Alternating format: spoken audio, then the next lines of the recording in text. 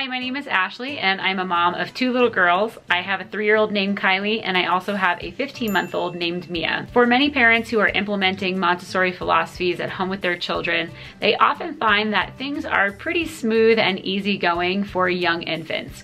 But as soon as their child becomes even a little bit mobile, they find that they're all over the place.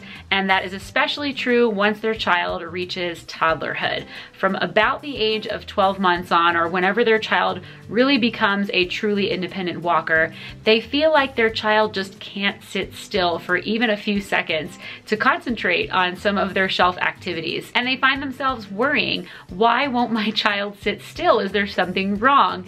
And the answer to that is no, absolutely not. This is 100% developmentally normal. And it's also around this time that parents begin to notice that their young toddler almost seems like they are trying to perform feats of strength at times in some of their activities, which can seem very peculiar, but again, this is also very normal.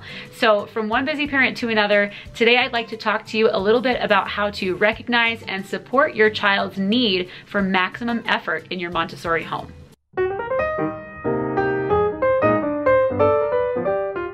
So let's take a minute just to back up to the beginning. When your child was first born, he or she was incredibly helpless and fairly immobile with the exception of those flailing arms and legs. But very quickly it becomes obvious that the child is exerting every ounce of their strength to twist and turn and look in every direction and stretch out those arms and legs. And eventually they begin to coordinate those movements such that they actually learn how to roll themselves over. And if you've ever sat and watched a child who is learning how to roll over for the first time, or a child who is learning how to sit themselves up into a sitting position on the floor for the first time all by themselves.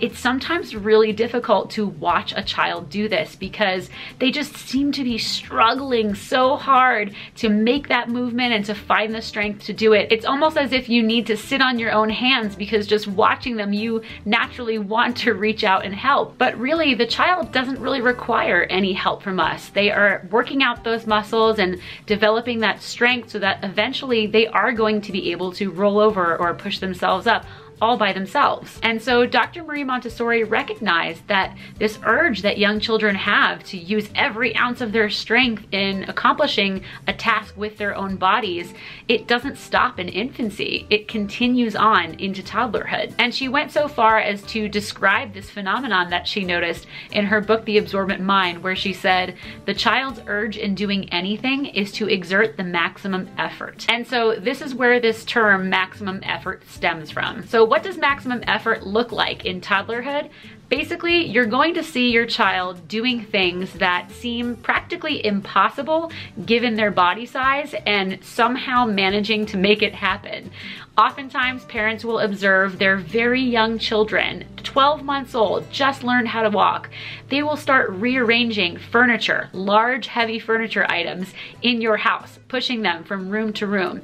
If they have child-sized furniture that is a little bit lighter, they will observe their child picking up those furniture items, and it might even be an entire small table, and carrying it from one place to another. They might observe their child trying to climb a slide backwards, or figuring out how to climb into a chair or up onto a piece of furniture that's a little bit high and to finally get up there only to get back down again and then repeat the behavior over and over and over again. And really the possibilities are endless when it comes to the number of different types of activities that you might find your young toddler trying to do in order to meet this need for maximum effort. And just to be clear, if you do observe your child engaging in any activities that are giving you an indicator that he has this need for maximum effort, then it is your job not to shut it down and redirect him to something else because that would be going going against his natural urges and his natural development. Instead, your role is to try to find as many different activities as possible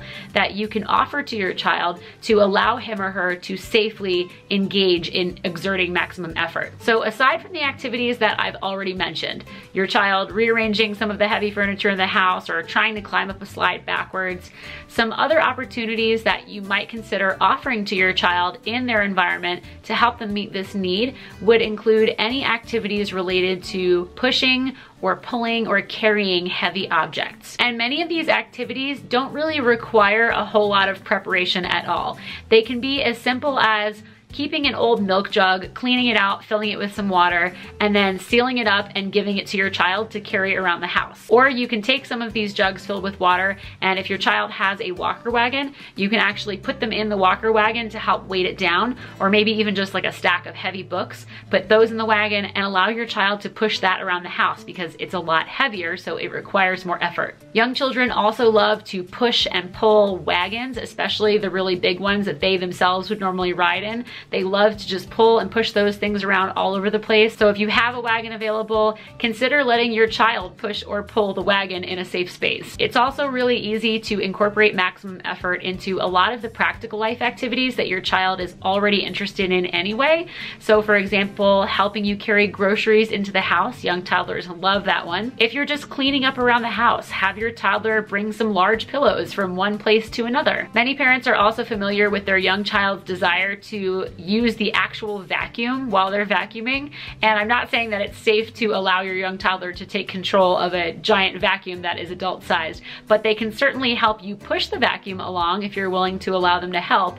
And that can allow them to exert some of that extra energy that way. Similarly, young children love to carry around brooms and mops and any other of the tools that they see us using to clean the house. So even if they are more interested in using your broom or mop than the child sized one that you've given to them, that's okay. Just let them have at it. If you're doing laundry, have your child help you pull out all of the laundry from the dryer into the basket and then have them push the fully loaded basket across the floor to wherever your destination might be. And when it comes to practical life, yard work is another great opportunity for your child to exert maximum effort. If you have a garden and a wheelbarrow, allow your child to put things into the wheelbarrow for you. Or perhaps you're just moving dirt or things like that around in your yard.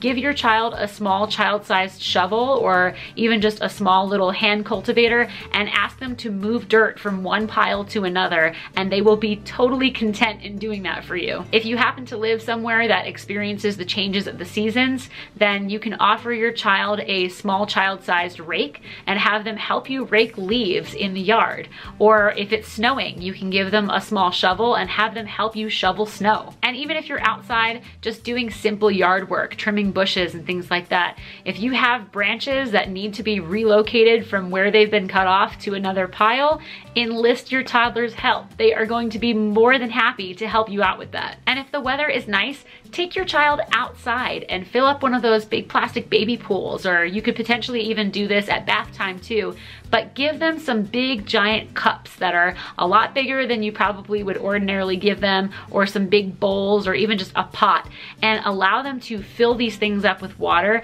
and you'll notice that they're immediately going to try to find a way, no matter how heavy it is, to pour them out or to try to stand up and hold them while they're filled with water.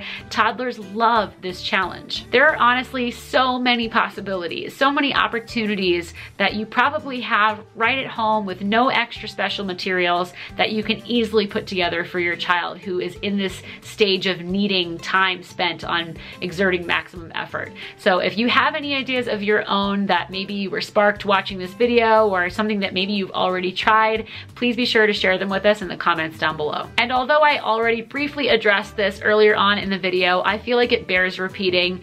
If you are concerned that your child is not sitting down at their shelf and instead they are almost consumed by doing some of these other types of activities, try not to worry about it. This stage of maximum effort is a phase. It is not going to last forever and it's natural. So you want to do anything that you can do to help foster this need that they have and allow them to explore it until it's finally over and they feel like they're done with it on their own terms. And then at that point, you will notice that your child suddenly seems to find more time to sit down and actually work on some of the lovely activities that you've provided for them on their shelves. And if you're wondering how long this stage lasts, like when can you expect your child to finally have exhausted this need?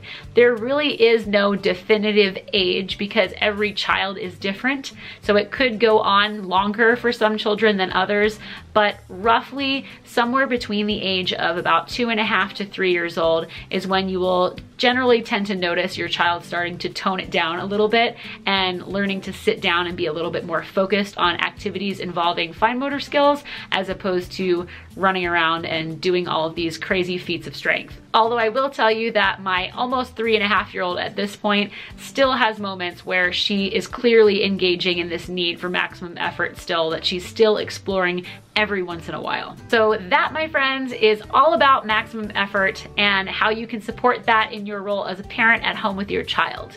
And if you are interested in learning more about how to implement Montessori practices at home with your children, I do have a comprehensive e-course that you can check out that walks you through it step by step. So I will leave a link in the description box down below if you are interested in learning more about that. And just in case you are new to my channel, I did want to let you know that this video is part of a much larger series called Montessori at Home, which is aimed at providing practical tips and advice for busy parents like you and I for implementing Montessori philosophies at home with your children.